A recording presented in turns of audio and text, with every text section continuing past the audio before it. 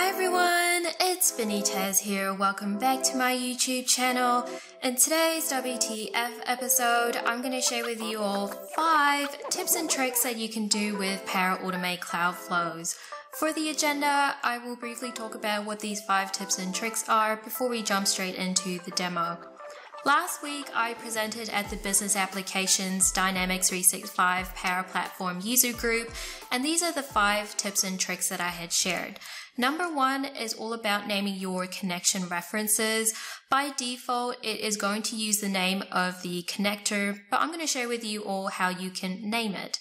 For number two, it's all about creating a header and being able to insert a space for that header in the create HTML table action. Number three is about sharing Pieter's method when you want to use the apply to each and use the values extracted from the apply to each action. So typically what we normally use is an initialize variable action outside of the apply to each. And then within the apply to each, we normally use an append to array variable. But over on the right hand side is Pieter's method where he doesn't use any variables at all. Number four is about creating a custom date and time format from a date and time column or field. So in here, I'm pulling through a value from Microsoft Dataverse, and I'm going to show you how you can create it in your own format that you want. Number five is all about using the Dataverse trigger condition. I did talk about this in my last WTF episode, but in today's WTF episode, the use case is slightly different where we only want the case sorry, we only want the Power Automate Cloud Flow to be triggered if the customer associated to the case is an account or an organization. So this is normally used when you are an organ- organization that is dealing with high priority customers and you want a notification to be sent to, let's say, um, a particular channel in Teams or to an email distribution list. And so this is what I'm going to share with you all today. So without further ado, let's jump straight into the demo. For tip number one, I am going to share how you can create a name for your connection reference. As you can see, we have multiple connections that are simply using the default name of the connector. So just to give you an example, I'm going to create a new connection from Microsoft Dataverse. And I'm going to show you that it's going to create it in a way where it's going to show the default value of the connector. Sorry, let me just refresh and show you that. So just bear with me for a second. And there you go. So one of these is the one that I had just created. So if you want it if you want to give it a particular name, then the tip is head over to your make.powerapps.com site, go over to new, select a new connection reference, and then as you can see, it asks you for a name for your connection reference. I'm going to call this WTF integration user. And then here is where you can select your connector. So I'm going to scroll all the way down and select Microsoft Dataverse. And then I'm going to click create and voila, that has created my named connection reference. Let's head back to the Cloudflow and refresh. And now what will happen is that we can see our named connection reference against any of the Microsoft Dataverse connect actions. Ta-da! So here it is, WTF integration user. So that is tip number one. Tip number two is about inserting a space in the header of the create HTML table. So if I just delete this and if I type in case and then if I try to do a space, so this is me entering the space bar, if you can hear that, it's not giving me a space. So I found out about this tip in a community forum post in the Power Automate site. And the tip was to simply enter your header in Notepad with a space and then copy and paste that into the action. So it's a very simple hack and it works. So there you go. That was tip number two. All right. So tip number three is about Pieter's method when you are wanting to grab the values from a list of rows or an array and you're using the apply to each. So as I mentioned, outside of the apply to each, normally we have an initialized variable where the type is array. So in this scenario, I'm grabbing the full name of the owner that's associated to the case so that we can go and notify someone that these are the owners of these high priority cases for this particular customer. Okay, and then in the apply to each is where we use the append to array variable action.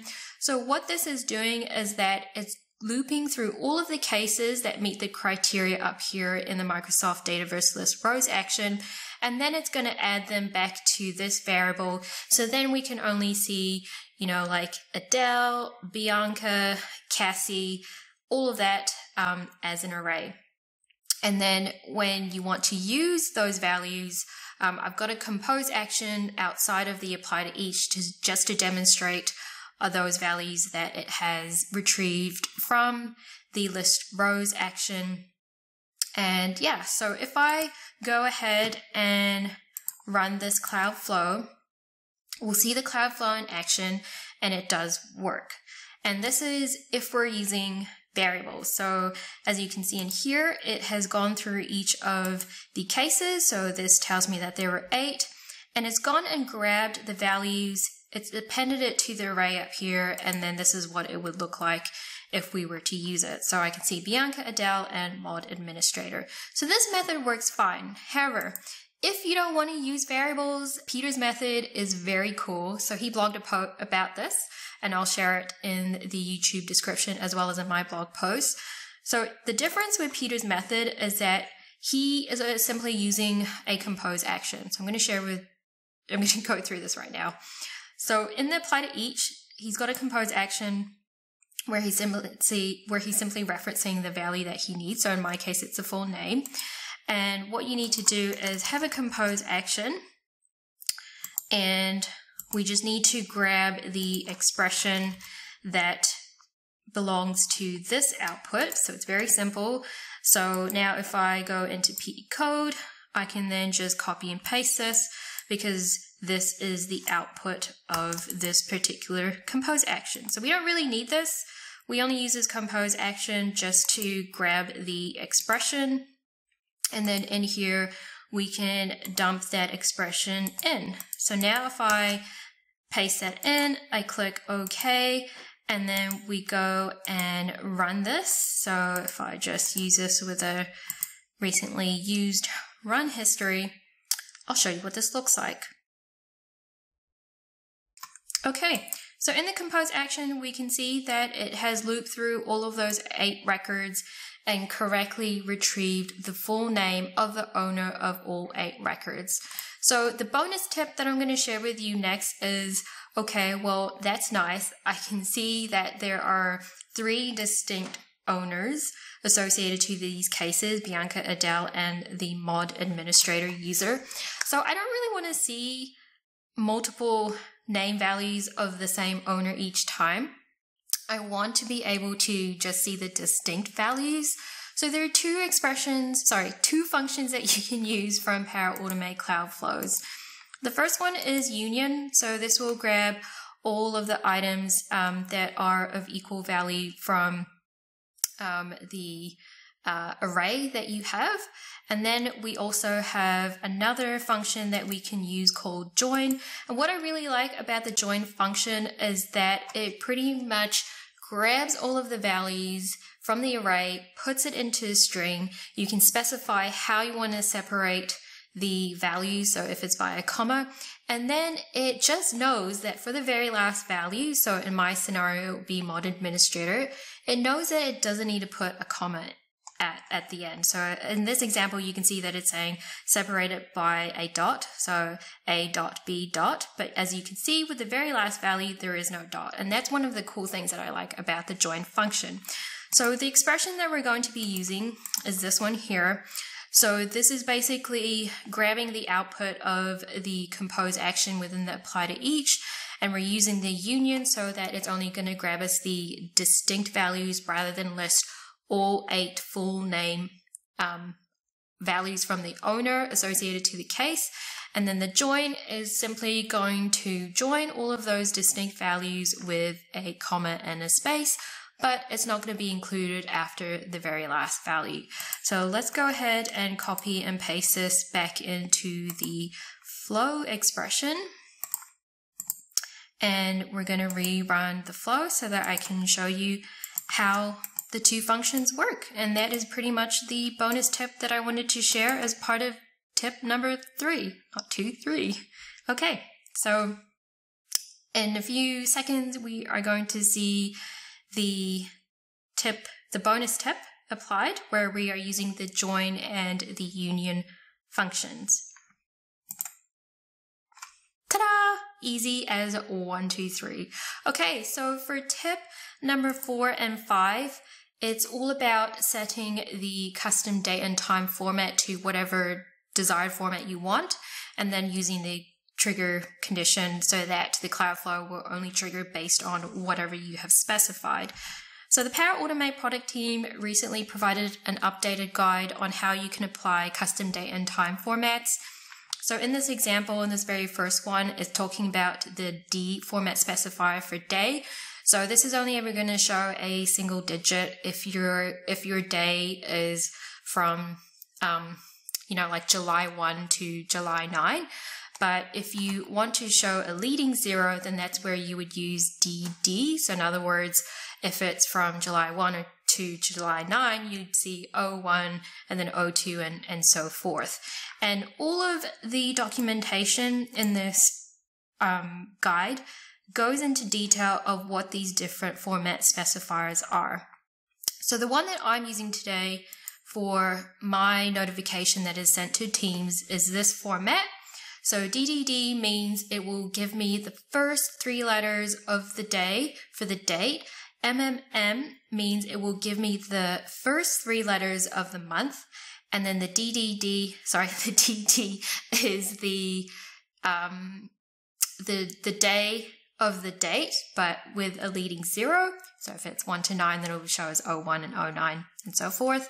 And then we've got the hours and minutes, and the TT is all about showing whether it's AM or PM, which is very useful when you're dealing with date and time. Okay, so you might have noticed that this expression is kind of long. If you were to just use the created on date and time value, it's going to display as UTC, which may not make sense in the time zone that you're in. And that's because Microsoft Dataverse stores the end time in UTC like any other application or system out there. So what I'm doing is using the convert from UTC function. And then I'm saying I want to convert the UTC created on value to the value of New Zealand Standard Time.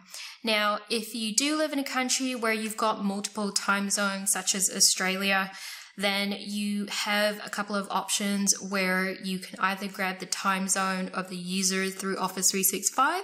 So this is useful if it is for, you know, like an internal use case. If it's, a, if it's an external use case and if you happen to have the address information of the contact or the account, you can also work out the time zone of that account or that contact.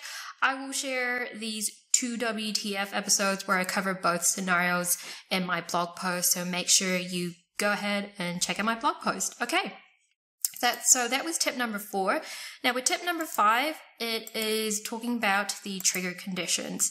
So I covered this in my last WTF episode, but the use case in this WTF episode is all about triggering this Cloudflow only if the case is associated to a customer where the customer is an account. We don't want this to trigger if it is a contact associated to the case.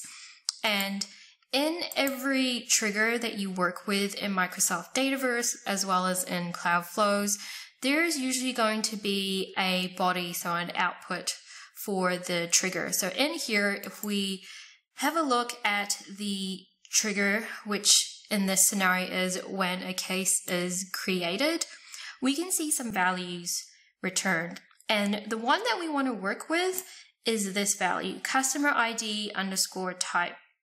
So this is the customer lookup column in the case table where it will either be an account or a contact. So we only ever want this Cloudflow to trigger if it's an account.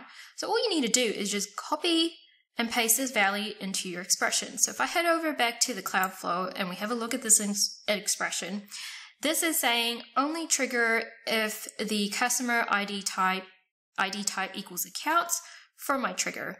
Now, if you want to use more than one expression, so let's say and or in your condition expression. I do have a WTF episode on this, so again, I will link that in my blog post. So make sure you check out my blog post for this. And yeah, without further ado, let us run this Cloudflow and we'll see it in action. Oh, sorry, backtrack. we don't want to do that. What we want to do is head over to Dataverse and open up the customer service hub and let's create a couple of new cases. So the first one that I'm going to create is for a contact just to demonstrate that this Cloudflow isn't going to, to run. So let's say, um, toilet paper needed in a lady's room. Okay, so then if I select a contact and We'll go ahead and select Adrian. We'll save and close. And then what I'll do next is create a new case where the customer equals account. So let's do that next. So now if I select new and let's say, oops, sorry, let's say there's a power outage for entire building and let me select a customer. So I'll just go with A. Datum and we'll click save and close. Okay, so what I'll do next is head over to my run history for this Cloudflow and we should see that only one run history has been executed and that is because this Cloudflow run history would be associated to the one where we created a case against the customer. So just to show you what it looks like, so again, this is the one that I created against the account. And then if we have a look at my teams, we'll be able to see the custom date and time format. And that's it. Those are my five tips and tricks that you can do with Power Automate Cloud Flows. I hope you learned something new. Don't forget to like and subscribe, and I will see you in the next WTF episode. Bye! Turn up. Let's, let's go.